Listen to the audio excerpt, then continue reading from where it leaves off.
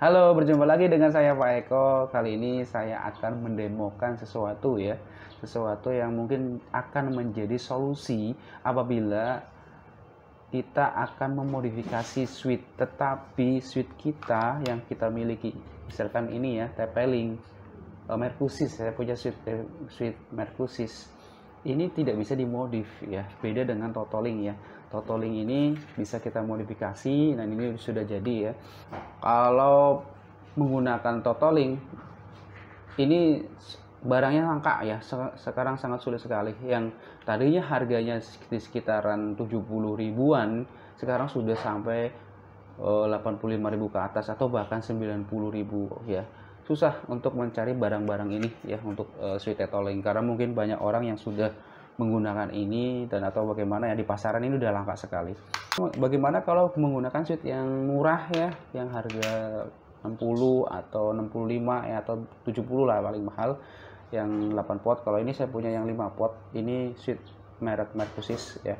Ini pasti murah banget kalau yang 5 pot ya. Mungkin 60-an lah di bawah 60 ya. 50 berapa ya? Hmm. ini yang 5 pot. Ini uh, biasanya kalau kita tidak mem bisa memodifikasi ini kita akan menggunakan tambahan yaitu kayak uh, injektor ya. Injektor seperti ini. Nah ini yang paling mudah. Cuman kendalanya bagaimana kalau menggunakan ini pasti uh, hanya bisa satu ya hanya bisa satu power. Karena kan uh, ininya cuma satu ya. Ini cuma satu. Ini pun kadang lubangnya nggak pas ini lihat ya nggak pas. Jadi mau nggak mau dipotong. Ini dipotong diganti dengan uh, aslinya ya asli uh, kepala adaptor aslinya. Jadi uh, datanya masuk ke sini ya kemudian powernya kan masuk ke sini. Nah ini uh, seperti itu. Tetapi bagaimana kalau kita ingin supaya saling backup? Mau nggak mau kan kita harus memodifikasi ini. Nah sekarang saya sudah membuatkan alatnya ya. Alatnya seperti ini jadi ada empat POE injektor ada empat POE injektor seperti ini. Ya ini udah saya tandain ya. Ada in ada in ada in. Jadi ini ada tiga dan ada outnya satu. Nah ini akan dijadikan satu masuk ke dalam sebuah di sini ada rangkaian ya. Ini masuk eh, untuk powernya ya power injektornya atau splitter powernya. Ini kan nanti masuk power power power ya dan outnya nanti untuk keluar power ya ini masuk ke dalam sini di sini ada rangkaian untuk uh, modifikasi switch ya. 3 in 1 out. Ya jadi ada tiga input kemudian outnya satu. Rangkaiannya seperti yang kita modifikasi di dalam switch totaling. Nah ini kemudian outputnya satu aja. Jadi nggak perlu outputnya sampai tiga ya. Jadi di, uh, dari uh, tiga input ya uh, dan satu output itu masuk ke dalam rangkaian. Kemudian ada step down di sini. Ini sudah outputnya sebesar 5 volt ya kita kan tidak butuh banyak-banyak. Kalau kita tidak modifikasi POE injector yang aslinya ini cuman satu ya otomatis outputnya 4 ya buat apa? Yang dibutuhkan kan cuma satu. Jadi harus kita modifikasi. Oke jadi ini data-datanya nanti tinggal dicolok. Oke. Di samping harganya nanti lebih murah ini lebih fleksibel ya karena ini saya buat dengan menggunakan ada cek ya ada sebuah cek eh, apa namanya untuk outputnya. Ini biar bisa diganti-ganti. Jadi kalau kepalanya itu beda kita bisa ganti sesuai dengan dengan kepala dari adaptornya. Seperti itu. Mungkin lebih fleksibel ya dengan menggunakan ini walaupun makan tempat lebih banyak. Jadi boxnya paling kita akan sesuaikan supaya ini bisa masuk ke dalam satu box ya saya rasa sih box-box yang X6 yang warna hitam atau yang 15 eh, kali 15 ya itu masih bisa masuk ya untuk ditambahkan dengan alat seperti ini. Baik ya kita lihat bagaimana cara penggunaannya ya kita demokan ya. Oke, kita... Oke baik teman-teman ya ini alat-alat yang sudah saya siapkan untuk mendemokan bagaimana kita menggunakan switch ini ya switch Mercusis ya. Ini 5 pot ya ini kalau kita lihat pinnya itu ada empat saja ya tidak ada 8 dan ini tidak bisa dimodifikasi. Ya mau nggak mau kita akan menggunakan alat yang tadi sudah saya jelaskan. Jadi kita akan menggunakan uh, POE ya injektor atau POE splitter ya sebutannya ya ini akan kita gunakan yang sudah saya buat. Ya, nanti suatu saat akan saya demokan bagaimana cara memodifikasinya ya. Oke jadi untuk ini kita punya tiga in ya tiga in. Sudah saya kasih label satu dua kemudian satu lagi tiga ya. Tiga in dan nanti satu out ya. Oke ya. Cara penggunaannya sama ya. Biasanya ini akan kita inputnya nanti dari klien ya. Dari klien ya. Misal dari klien ya. Misalkan ini saya akan ada beberapa klien di sini ya sudah menggunakan uh, Totoling N300 RT yang sudah dimodif PoE in atau out ya ini. Ya ini inputnya masih 9 ya sampai 12 volt ya. Oke ini sudah ada adaptor beberapa adaptor. Ya misalkan klien satu ya kita colok ke sini klien satu. Ya sudah nyala ya. Nah kalau sudah kita coba e, berikan eh, kabel ya ini kabel yang pertama misalkan di port 1 ya. Biasanya kalau klien itu kan di port 1 nah ini akan kita colok ke dalam ke POE ini ya. Misalkan ke in dulu ya ke in. Nah ini sudah ada arus di sini ya. Kita colok ke switchnya ya. Kita colok ke switchnya yang ini ya powernya kita masukkan. Nah nyala ya teman-teman ya. Ini switchnya sudah menyala. Nah untuk datanya juga ya datanya kita masukkan yang tadi in ini ya. Yang in datanya kita masukkan ke sini misalkan ya. Nah seperti ini teman-teman. Ya ini baru satu ya.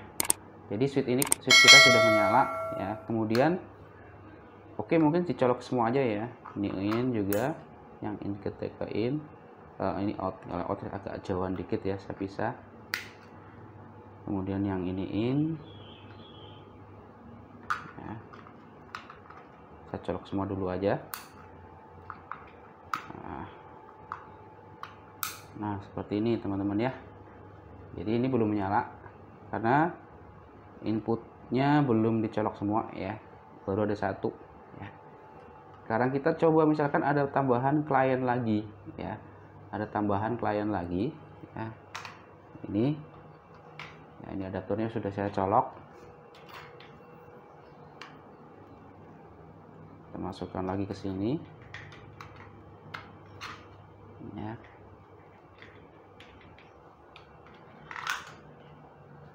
Ini untuk klien kedua. Klien kedua ya kita colok ke in dari switch ini. Ke in ini ya. Oke sudah nyala ya. Datanya juga sudah nyala. Sudah dua klien ya masuk. Dan satu lagi kita colok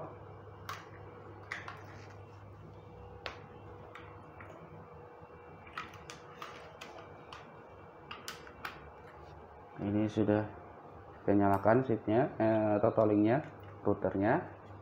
Kita kasih kabel lagi. Ini kabel. Ya klien 1 klien 2 klien 3 kita masukin ke in lagi.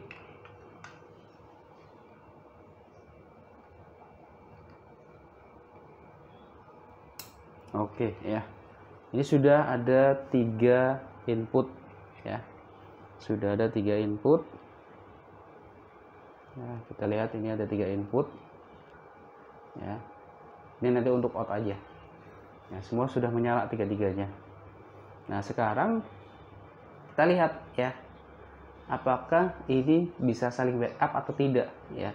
Jadi kalau kita matikan satu, kita cabut aja ya. Nah, ini mat, mat, hanya mati di datanya saja ya. Ini kita cabut sebelah sini. Masih nyala tetap ya. Kita cabut colok sebelah sini. Kita cabut sebelah sini. Nah, tetap masih nyala ya. Jadi tidak ada jadi saling backup powernya ya. Kalau yang ini juga misalkan kita colok. Nah, yang lain dicabut. Jadi tetap nyala nah, jadi sama fungsinya dengan switch yang kita uh, switch yang kita buat ya. Menggunakan Totoling S808 ya.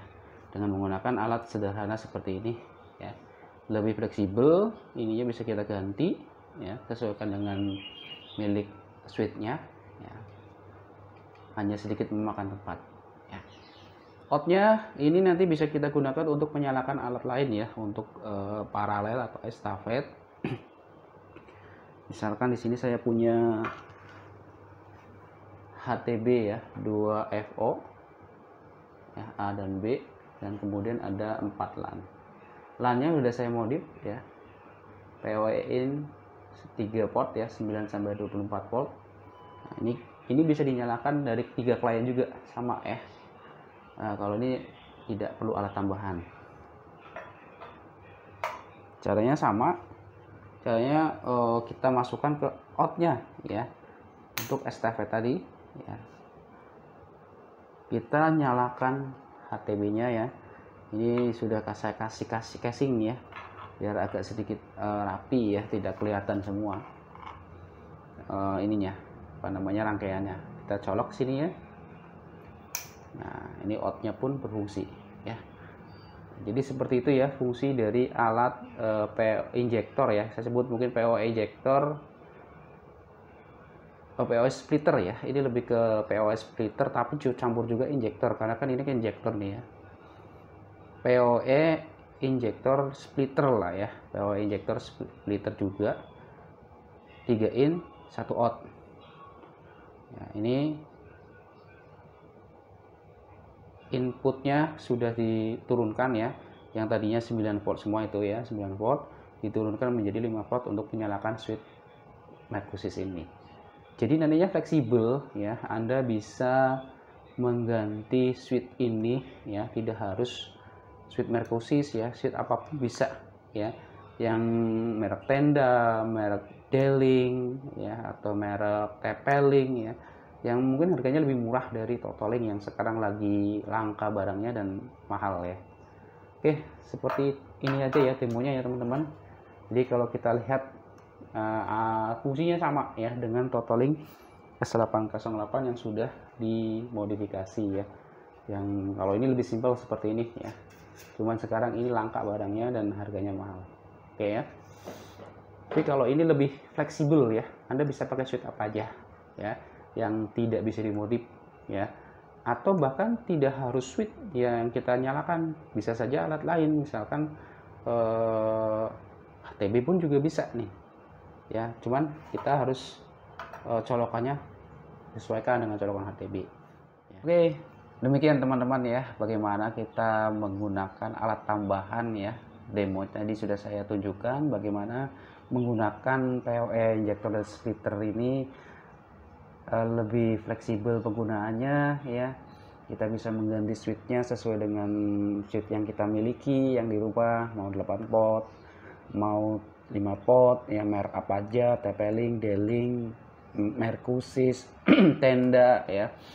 Uh, itu bisa kita pakai ya. Switch yang tadinya tidak bisa digunakan untuk modifikasi ya kita tidak modif tetapi kita tambahkan dengan menggunakan alat PO injector atau POS splitter ini. Tinggal anda rangkai mirip seperti switch ya. Saya yakin ada bisa ya. Mirip seperti switch cuman ya switch modif ya yang totaling tetapi rangkaiannya kita taruh di luar. Itu saja ya video dari saya ya.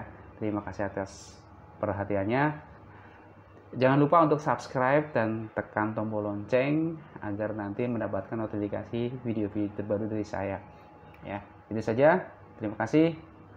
Jumpa lagi di next video